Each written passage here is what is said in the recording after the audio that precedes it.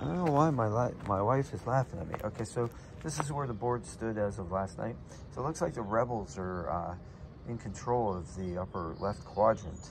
So uh, if the squirrels come or the possum or deer or any of the other animals, I put the uh, walnut, the tasty walnut in the middle because you know that's a uh, very strategic square and that's a very uh, tempting uh, item for the squirrels. And then I put olives down here because I don't know. I had some extra olives and I thought, well, let's give it a try. Also, put an olive salad out here for any of the critters who think that they might like something a little more savory than all these diet of steady nuts.